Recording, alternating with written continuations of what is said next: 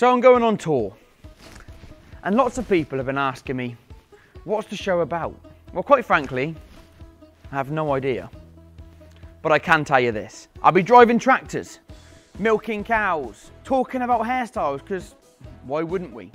And more importantly, talking about the industry as a whole and how it's been affected across the years. And also having my own country pursuit. I can't wait to see you all there.